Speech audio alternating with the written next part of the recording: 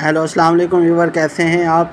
उम्मीद है कि ठीक ठाक होंगे। तो आज का हमारा टॉपिक है मदर ट्रीसा कोइट्स या मदर ट्रीसा के कोटेशंस ओके तो सबसे पहला है कि we do not need guns and bombs to bring peace we need love and compassion यानी मतलब क्या हुआ कि हमें जो है अमन के लिए जो है वो बहुत ज़्यादा गन्स और बम्बों की ज़रूरत नहीं है।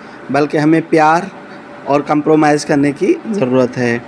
दूसरा है we fear the future because we are wasting today हमें मुस्तकबिल की फ़िक्र इसलिए होती है क्योंकि हम आज का दिन ज़ाया कर रहे होते हैं।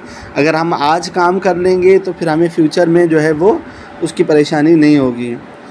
The fruit of silence is prayer the fruit of prayer is faith the fruit of faith is love the fruit of love is service the fruit of service is peace if we pray we will believe if we believe we will love if we love we will serve यानि अगर हमें इबादत करनी है, करते हैं तो इसका मतलब है कि हमें यकीन है। और अगर हमें यकीन है तो इसका मतलब है हमें प्यार है। और अगर हमें प्यार है तो हम फिर क्या करते हैं? खिदमत करते हैं। Next we do not wait for leaders do it alone person to person हमें मतलब है, किसी भी काम को करने के लिए लीडर्स की ज़रूरत नहीं होती, बल्कि हमें खुद ही वो काम करना चाहिए, अकेले। If you can can not feed a hundred people then feed just one अगर आप सौ लोगों को खाना नहीं खिला सकते तो कोई मसला नहीं है। आप किसी एक इंसान को खाना खिला दें।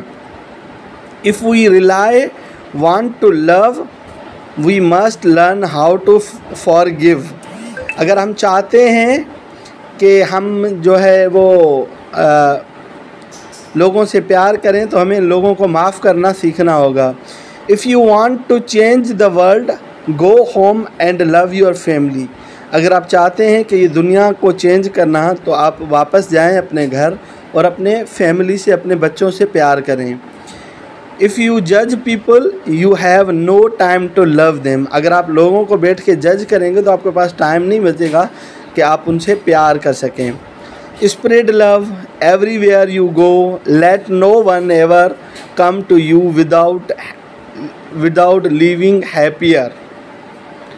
Not all of us can do great things, but we can do small thing with great love.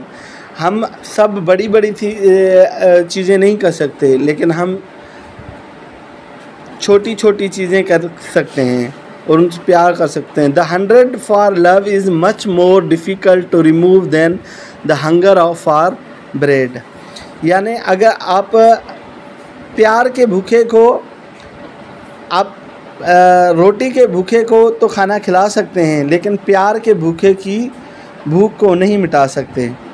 Some people come in your life as a blessing some come in your life as a lesson यानी बहुत सारे लोग आपकी ज़िंदगी में इसलिए आते हैं ताकि आपको खुशी दे सकें, लेकिन बहुत सारे लोग इसलिए भी आते हैं ताकि आपको कोई सबक देख सकें। The first requirement for a prayer is silence people of prayer are people of silence not all of us can do great things but we can do small thing with the great love peace begins with the smile okay तो ये थी mother Teresa. आज हम उनके quotation पढ़े। मिलते हैं फिर किसी नए टॉपिक तक। तब तक अपना ख्याल रखिएगा। पाकिस्तान, जिंदाबाद।